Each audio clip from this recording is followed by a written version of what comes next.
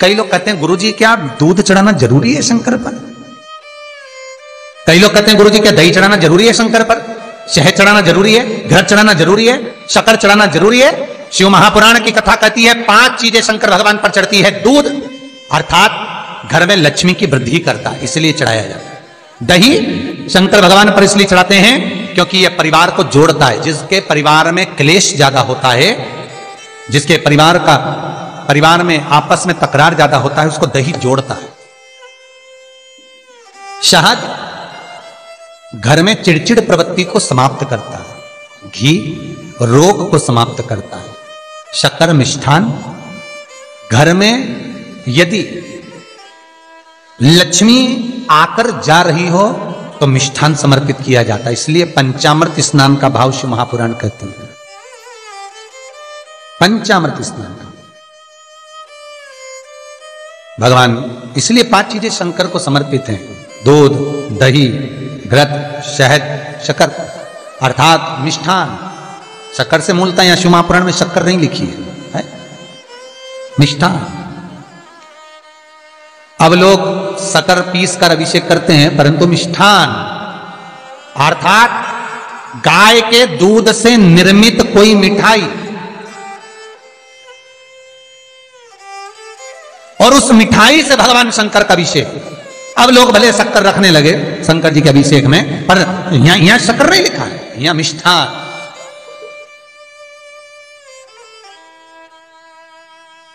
हमारे यहाँ सहज भाषा में कहते थे उसको खांड, अर्थात मीठा। शिव महापुराण की कथा कहती है, दर्पण, इतना बड़ा ले लो। बंदर वाला अगर दर्पण वाली नहीं तो इतना बड़ा दर्पण लो। हनुमान जी के मंदिर में जाकर, क्योंकि हनुमान शंकर का ही अवतार है। हनुमान जी के मंदिर में जाकर हनुमान जी के उल्टे पाँव का थोड़ा सा सिंदूर, चरण का थोड़ा सा सिंदूर एक कागज़ में लेकर आ जाइए। और हनुमान जी के छोटे भाई, हनुमान जी छह भाई हैं, उसमें गतिमान, हनुमान जी के छोटे भाई गतिमान का नाम लो। और गतिमान का नाम लेकर उस दर्पण पर सिंदूर से त्रिशूल बना दो। सिंदूर से त्रिशूल बनाकर उस दर्पण को घर के बाहर दर्पण का मुख बाहर की ओर। ऐसे बाहर की ओर मुख कर कर दर्पण को घर के बाहर या दरवाजे पर, बिल्डिंग पर, ऊपर जाली में, फ्रंट में कहीं पर भी उसको लगा दीजिए। महाराज, केवल शंकर का स्मरण कर कर, गतिमान का नाम लेकर, हनुमान के उल्टे पाँव का सिंदूर का त्रिशूल बनाकर जो दर्पण को लगा देता है, आपको एक महीने के अंदर अंतर मालूम पड़ जाएगा कि पिछले जो महीने निकले हैं उस महीने का अंदाज़ा लगाना कि घर में लोग कितने बीमार पड़ते थे और इस दर्पण को लगाने के बाद बीमारी कम हुई कि नहीं। नहीं हो कम तो ठंडा कर देना, क्या जा रहा है? पर करके ज़रूर देखना, विश्वास रखकर करोगे। भगवान शिव का अनुमोदन कर कर, भगवान शंकर पर विश्वास रखकर करोगे तो बीमारी घेर नहीं सकती। अकाल मृत्यु हो मरे, जो काम करे चंडाल का काल उसका क्या बिगाड़े? जो भक्त हो महा काल का शंकर की आराधना करने वाला, शिव का स्मरण करने वाला, शिव को निवेदन करने वाला, शिव अर्चना में डूबने वाला, शिव का अनुमोदन करने वाला, कभी दुखी नहीं हो सकता। तो शिव महापुराण की कथा कहती है, शंकर को जितना जल प्रिय नहीं, शंकर को जितना बेल प्रिय नहीं, शंकर को जितना शमी प्रिय नहीं, शंकर को जितना दूध दही प्रिय नहीं, शंकर को अगर कुछ प्रिय है तो सत्य प्रिय है, सत्यम शिवम सुंदर। इसीलिए हमारे यहाँ शास्त्र कहता है। ब्रह्मा जी केतकी के फूल को लेकर आए, उसने झूठ बोला। ब्रह्मा जी गाय को लेकर आए, शंकर भगवान के सम्मुख में झूठ बोला। ब्रह्मा स्वयं झूठ बोले तो सिर कटा। कर्मनाशा नदी प्रकट हुई। और शिव महापुराण की कथा कहती है, शंकर को सत्य प्रिय है। अगर झूठ बोला है, इसीलिए शिव महापुराण का स्पष्टीकरण किया जाए, वर्णन किया जाए तो पहले के समय में अदालत नहीं होती थी। पहले के समय में पंचायत नहीं हो सकती थी। पहले के समय में कोई सभाएँ नहीं होती थी। पहले के समय में कोई निर्णायक मंडल नहीं होता था। पहले के समय में केवल एक निर्णय होता था। गाँव के लोग ले जाकर शंकर के मंदिर में खड़ा कर देते थे और कहते थे, उठा गंगा जली, और कहते, तूने ऐसा नहीं किया।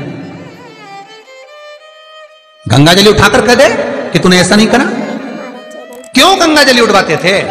क्योंकि लोगों ने शिव महापुराण सुन रखी थी। शिव महापुराण में श्री वेद व्यास जी वर्णन करते हैं कि शंकर के मंदिर में, शंकर के ओतले पर शंकर के मंदिर के अंदर, शिव की चौखट पर, शंकर के अनुमोदन में, शिव महापुराण के अंतर्गत, शंकर के अनुमोदन में, शिव मंदिर में, शिव चौखट पर।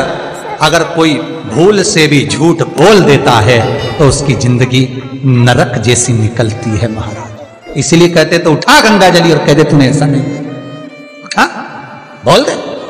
आपके भी जीवन में अगर किसी को कष्ट है, फिर निवेदन करूँगा, मंदिर में अगरबत्ती भले मत लगाओ मंदिर में दीप भले मत जलाओ, मंदिर में पेड़ा भले मत चढ़ाओ।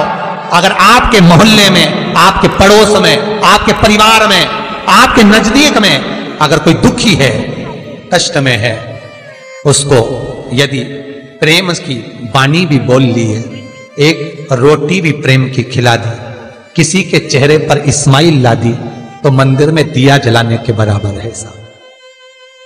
मंदिर में दीप जलाने के लिए। बेलपत्र। भगवान माता पार्वती के अश्रु से है, रुद्राक्ष भगवान शंकर के अश्रु से है शमी पत्र उमा और महेश्वर, भगवान शंकर के विग्रह के सुख से जो जल प्रकट हुआ है, उस जल से शमी की उत्पत्ति है महाराज, दोनों के मिलन से। दोनों के मिलन से। जैसे एक मुखी से लेकर चौदह मुखी तक रुद्राक्ष होते हैं। आपको पहले भी कथा में कहा, एक मुखी से लेकर चौदह मुखी तक रुद्राक्ष होते हैं सभी रुद्राक्ष का अपना अपना एक मंत्र होता है। अपनी अपनी एक साधना होती है, जिसके अनुसार रुद्राक्ष काम करता है। एक मुख्य रुद्राक्ष लक्ष्मी की वृद्धि के लिए होता है। कभी मौका मिले तो एक मुख्य रुद्राक्ष का दर्शन करना, पर एक मुखी रुद्राक्ष जितना छोटे से छोटा होता है, जितना छोटे से छोटा होता है, उतना सुख दे। एक मुखी रुद्राक्ष लक्ष्मी की वृद्धि के लिए होता है, कार्य सिद्धि के लिए होता है। कोई भिखारी से भिखारी, गरीब से गरीब बड़ा भी अगर धारण कर ले उसके घर में एक मुखी रुद्राक्ष अगर प्रवेश कर जाए तो सुख का अनुभव करा देता है, संपदा का अनुभव कराता है, सरस्वती का भाव प्रकट करता है, वैभव का भाव देता है। एक मुखी रुद्राक्ष का मंत्र है, ओम हीम नमः। ओम हीम नमः। ये लक्ष्मी के लिए होता है महाराज दो मुखी रुद्राक्ष बांधा को हरता है, कोई तकलीफ़ आ रही है, कोई प्रशासनिक कार्य है कोई काम नहीं हो रहा, फ़ाइल आगे नहीं बढ़ रही, बहुत तकलीफ़ आ रही है तो दो मुखी रुद्राक्ष जो व्यक्ति धारण करता है, उसका कार्य सफल होता है। दो मुखी रुद्राक्ष का मंत्र है, ओम नमः। दो मुखी रुद्राक्ष का शिव महापुराण में जो मंत्र दिया है, ओम नमः।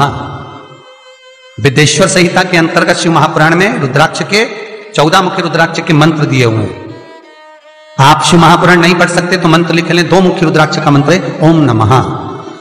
तीन मुखी रुद्राक्ष विद्या प्राप्ति के लिए होता है।